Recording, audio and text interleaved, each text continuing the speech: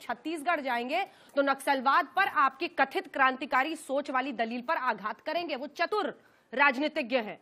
आपके पास जवाब ही नहीं है। इतने चतुर राजनीतिज्ञ हैं कि छत्तीसगढ़ में खड़े होकर भूल गए।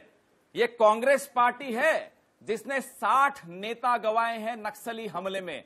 इनका तो कोई शहीद हुआ नहीं आज तक। ना आज़ादी के आंदोलन में हुआ ना नक्सलियों के हाथ हुआ। इन्हें क्या मालूम शहादत का क्या दर्द क्या होता है फिर? क्यों बोल दो रहे हैं दो प्रधानमंत्री गए हैं। राज बब्बर क्यों बोल रहे हैं राज बब्बर ने क्या कहा? राज बब्बर ने कहा कि आप सबको आप अर्बन नक्सली कह देते हो ये बात गलत है उनकी बात सुनिए। नक्सलियों के लिए नहीं कहा नक्सलियों के लिए हम लड़े हैं नक्सलियों के खिलाफ हम लड़े हैं। ये लोग क्या समझेंगे?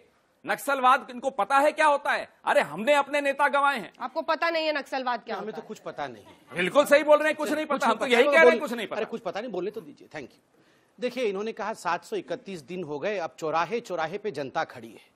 मैं बहुत आदर के साथ कहूँगा अंजना जी 731 दिन हो गए 11 राज्यों में जनता खड़ी थी इस्तकबाल करने के लिए भारतीय जनता पार्टी का। 11 राज्यों में ईवीएम के माध्यम से, बैलेट के माध्यम से जिताया है।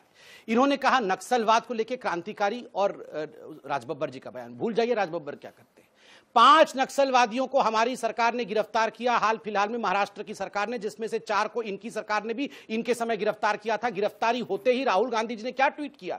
ये तो एनजीओ के बड़े अच्छे लोग थे। इतने अच्छे लोगों को क्यों गिरफ़्तार कर लिया? नक्सली अच्छे लोग होते हैं। एक पत्रकार, आप पत्रकार कम्युनिटी से हैं अंजना जी। एक पत्रकार मेरे प्रदेश का अच्युत उस व्यक्ति को कैमरा लेके वो जा रहा था गोली मार के मार दी गई। उसकी छोट उसकी छोटी सी बिटिया उसकी पत्नी आप बताइए क्या गुजर रहा होगा उसके ऊपर? आप यहाँ जस्टिफाई कर रहे हैं नक्सलवाद को। आप उसे क्रांतिकारी बता रहे हैं। क्यों किसी? पत्रकार को मार तो देना किसी नक्सलवाद समाप्त हो जाएगा।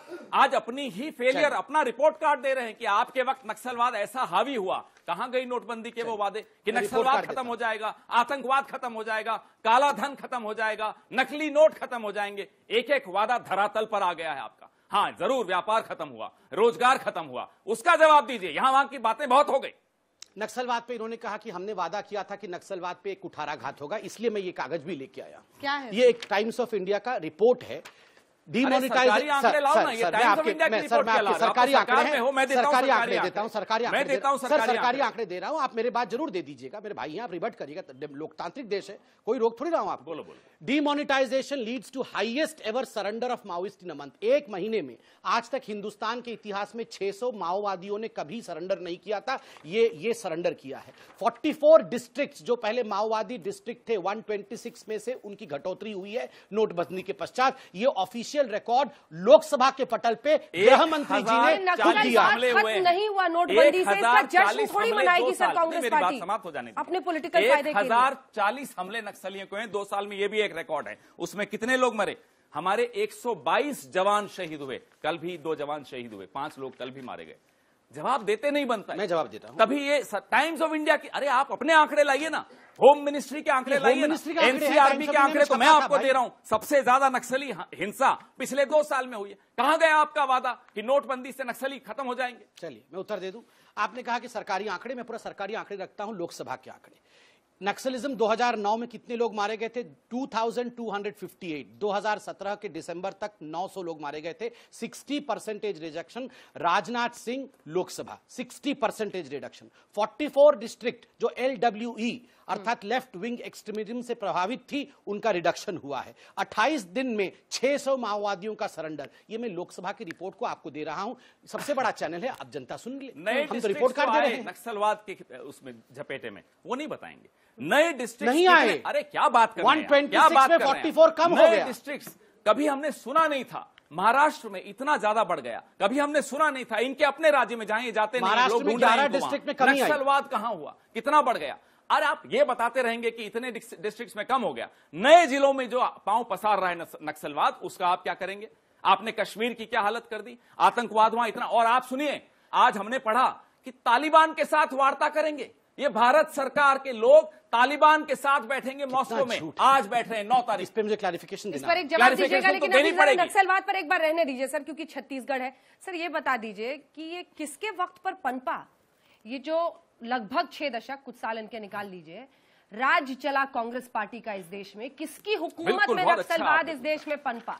मैं इसका इतिहास दो लाइनों में बताऊँगा। जब लैंड रिफॉर्म्स की बात उस वक्त नेहरू जी के वक्त इंदिरा जी के वक्त खास तौर- तौर पे इंदिरा जी के वक्त हुई लैंड रिफॉर्म्स का सबसे ज़्यादा विरोध हमारे मित्र की पार्टियों ने किया।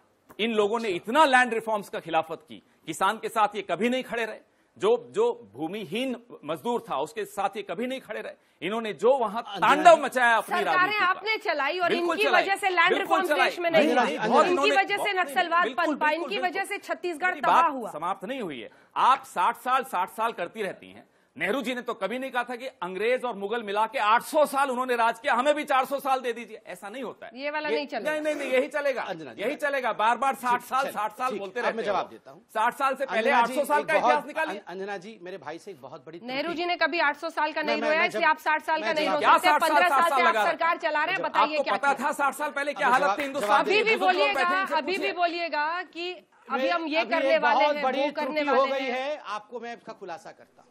इन्होंने आपने सवाल पूछा इनसे कि नक्सलवाद क्यों शुरू हुआ तो इन्होंने कहा कि नेहरू जी लैंड रिफॉर्म चाहते थे हम लोगों ने सब रोक दिया भारतीय आपकी विचारधारा नहीं, हमने कह दिया आपकी- भारतीय जनता पार्टी। उस वक्त भी आपकी सर, पार्टी सर, सर, थी। प्लीज़ नाम कुछ प्लीज़, और था। ये छोटी- मैं मैं मैं मैं इस प्रकार मैं बोल सकता हूँ मैं बिल्कुल चिल्लाऊँगा नहीं शांति से भारतीय जनता पार्टी 1980 में बनी तब शायद नेहरू जी का पुनर्जन्म भी हो चुका होगा। अरे ये उस समय हमने जाके मज़ाक की बातें 1950 1960 1940 में हमने नक्सलिज्म को तो जन्म दे दिया। मानते हैं कि आप सर, पहले मैं आपके बीच मैं आपके जनसंघ कभी नहीं सर मैं आपके बीच में बिल्कुल नहीं, बोला। नहीं पवन जी मैं पवन जी मैं आपके बीच में नहीं बोला। सुन लीजिए पवन जी। पवन जी आपने कहा कि नेहरू जी बहुत अच्छा करना चाहते थे लैंड रिफॉर्म करके सब गरीबी दूर कर देना चाहते थे। ये हम लोगों ने भारतीय जनता पार्टी हम लोगों ने पूरा ध्वंस कर दिया जबकि भारतीय जनता पार्टी 1980 में बनी। नक्सलवाद को हमने जन्म दिया जाके 1940 में Bharatiya Janata party retrospectively time machine में बैठ के जाके नक्सलवादी बना के आए हम लोग।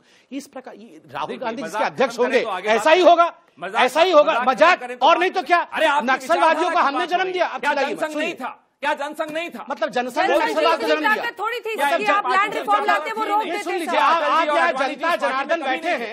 नक्सलवाद को जन्म जनसंघ ने दिया। हिंदुओं ने दिया नक्सलवाद को जन्म। क्या बोल रहे हैं ये क्या हालत